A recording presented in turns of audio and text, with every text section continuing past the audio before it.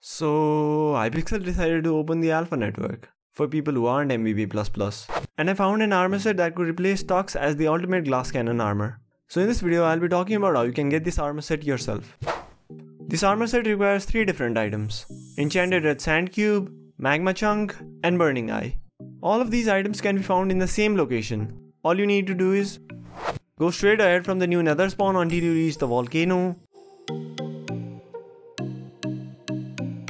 Then take a left and you should be able to find the sources for all these items.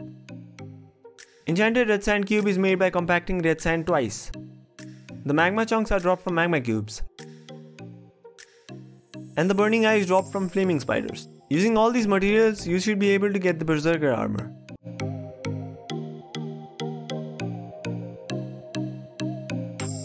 Also you can add crimson essence to the armor, so it should be a really good armor set which can get with little effort. What do you think about the new armor set? Please tell me in the comments below.